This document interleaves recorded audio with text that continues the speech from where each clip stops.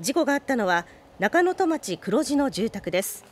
今日午前2時半ごろ70代の男性が運転する普通乗用車が住宅の玄関に衝突。そのまま家の中まで突っ込み停車しました。事故当時この家には夫婦2人がいましたが無事だということです。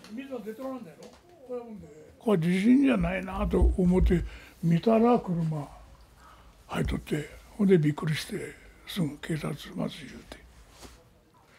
この事故で車を運転していた70代の男性が怪我をして病院に搬送されましたが命に別状はありませんでした。